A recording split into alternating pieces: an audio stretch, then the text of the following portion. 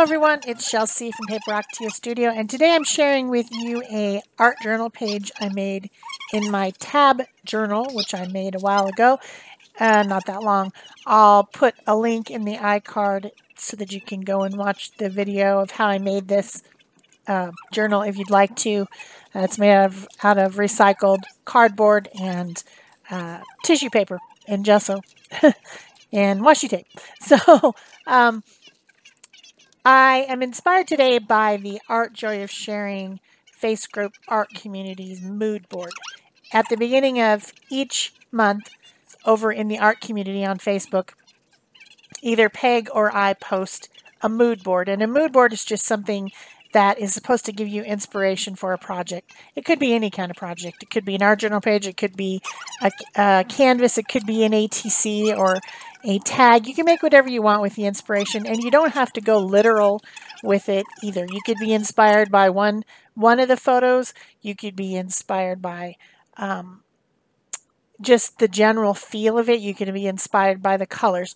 Uh, today, my inspir inspired page is very literal to what was on the mood board. There's some rainy scenes with umbrellas, and I actually end up using a photo right out of the mood board, which is the little pug in a rain jacket right on the page. I mean, it's it's literal. I use the colors, I use the images, um, but it doesn't have to be like that. Say you just like the blue flowers and you want to make blue flowers. That's an inspiration. Say you just want to make something abstract with the colors of gray and blue and yellow, like the mood board. Say you're inspired by just the rectangle shapes on the shower or the rectangle on the building in the middle, or maybe you're inspired by the clouds. It's absolutely up to you what you take from this this mood board. It's just for your uh, use. You can print it out. You can just look at it online. But what we would like is that you, you when you make something with it, that you post it in the group, in both in the group and in the folder for the mood board inspiration pieces that everyone has made in the group because we love to see them and we want everyone to share in the the art community Facebook group. If you haven't joined yet, there'll be a link in the show more below the video and you can click on that and ask to join.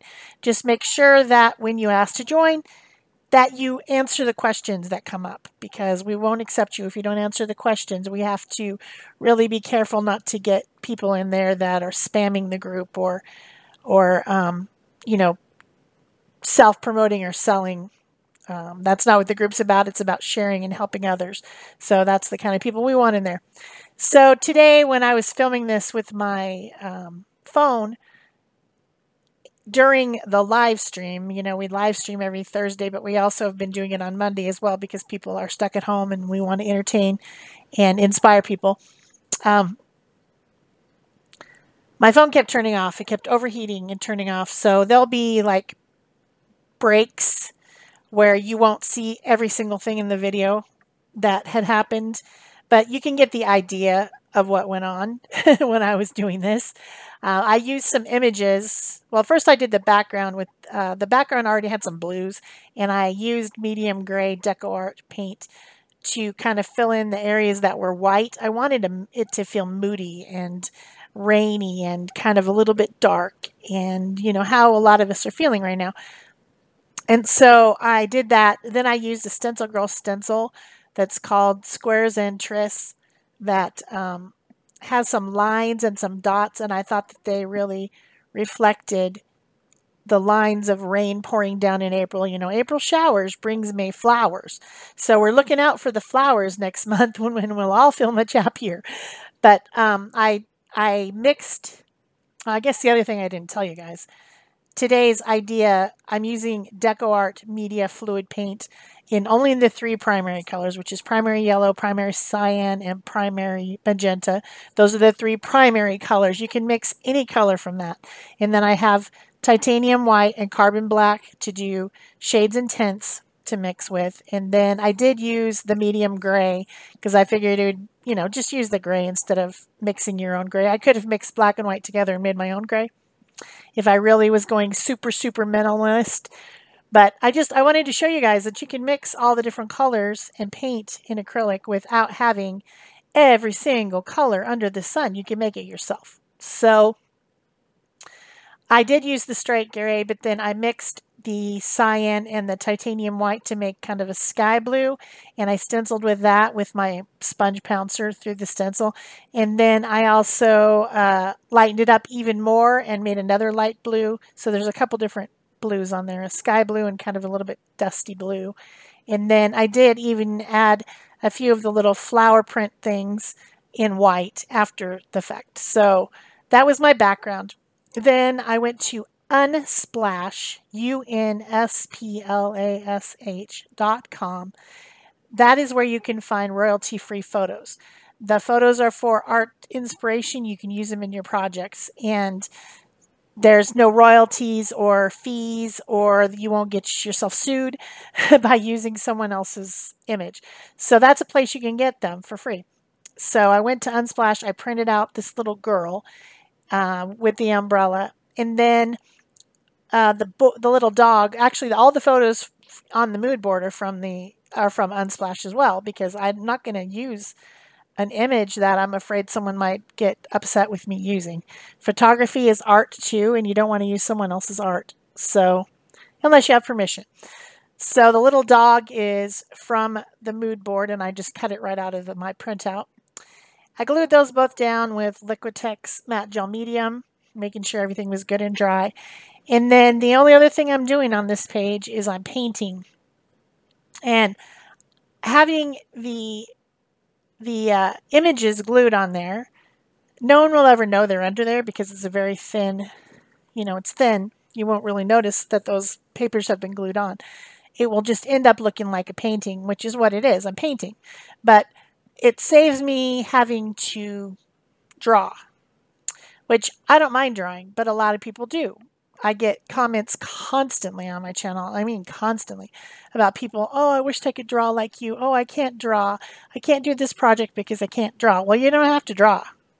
You can trace, or you can do something like this, which is to just take the thing that you wanted and glue it down and then paint over the top. And it gives you all the lines. It gives you an idea of the shading. Um, I kind of tend to make it up myself. Sometimes I change things. Uh, I want to stick with the blue, the and the the yellow and the gray. I want um, I want it to be those colors instead of the turquoise color that the whole photo was kind of tinted in. In fact, the girl's eyes were turquoise, uh, where the whites of her eyes should be. Uh, they must have been using a filter over their camera or something. I don't know. But the entire thing was a very teal, turquoise, Tiffany blue type color. Uh, and I wanted to take out all that color and use only true blue, true yellow. So as you can see, I've mixed a brown. I've mixed skin color. If you mix the three primary colors, primary cyan, primary yellow, and primary magenta together, you get brown or tan. You get tan. Um, well, you get brown. And then you can make it darker by adding the carbon black, or you can make it lighter by adding the titanium white. So if you add a little bit of titanium white to your blend, it will lighten it up into a skin tone. And depending on, you know, the race of the person that you're that you're painting, you might want it a little darker, a little lighter. You might want it more red. You might want it more yellow uh, to make an olive tone person. Um, so that's just going to depend. It's all just mixing and I, I got out a piece of palette paper so that you could see the mixing as I'm doing it. So that you could, because on if I just use my palette plate that I normally use, there's so much color on there you wouldn't be able to see what the heck I was doing. So I'm mixing colors for highlight. I'm mixing colors for shadow. I'm mixing colors for the lips and the eyes and the everything. Um, I mix it all. I did switch from a regular acrylic handled brush to a water brush when I started to do the skin tones because the water in the bristles helps it blend better. So instead of having to continuously dip my, my brush in water, I prefer to use the water brush when I'm doing blendy blendy things like skin tones because I've got to get different colors in there. I've got to blend different colors, add different colors. I've got to have shadow color and highlight color and um, cheek color, you know. And all those are going to be different blends of those three colors plus white or black. Somewhere on my channel, I believe I have a video that explains how to blend skin colors. If I can find it, I will put it in the iCard. um, I don't, there's no guarantee that I can find that. I know it exists, but I now have over 800, getting close to 900 videos on my channel, and I can't always remember what it's named. So it gets a little bit tricky sometimes. But I have a lot of videos where I've blended colors to make other colors. And now lots of times I will use water soluble things to do it. This time I'm using acrylic paint, which dries permanent. So then now I'm working on the umbrella. I changed the umbrella from a light turquoise color to yellow because I think it's fun with these two more dark colors, the blues and the grays, to have that little bit of highlight of yellow. And I wanted that to be prominent in my my um, scene here. The little dog, the little pug, has a yellow rain slicker on, but then the girl also has her yellow umbrella with blue polka dots to um, protect her from the gloomy rain that's pouring down. It's not cold, it's just wet and gloomy.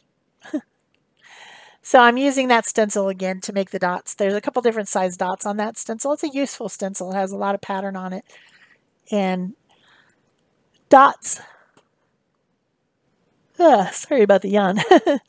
dots are are like raindrops, and then it has those those uneven uh, vertical lines, or they could be horizontal depending on which way you turn the stencil.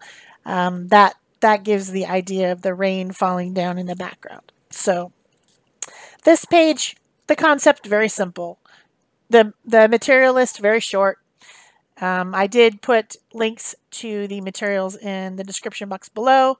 You can click on those links. Um, some of them are affiliate links, which will give me a few cents. Most of them in this particular video are not because I used links to the direct places that you can buy these things. The DecoArt paint in particular is um, directly to the Deco, DecoArt site. So then I put some shadows just so that the the focal images stand out from the background because they were kind of blendy blendy a little bit. And just wanted to make sure that everything was uh, standing out. You want to see the girl and the dog, not the background. And I'm adding some highlights with the titanium white here and there. Uh, just to make it more interesting. I did have to draw in part of the dog and part of the umbrella. I made sure that the dog had a little tail sticking up. I thought that was funny. But anyway, this is what I did today, and I hope you've enjoyed it. If you do use the mood board inspiration, remember to put your uh, photos of your artwork in the group and share with everyone else so that they can see what you did and uh, give you thumbs ups. And of course, give me a thumbs up and leave a comment or question below. Subscribe if you haven't already. Turn on your notification bells if you haven't already. You can pin this on Pinterest. Share it on Facebook, anything that you want to do. Um, all those things help my channel by people being able to find me better and know that I make good content. So I think I'm just about done with this project. I ended up adding some blue spatters in the background just because it seemed a little bit plain still.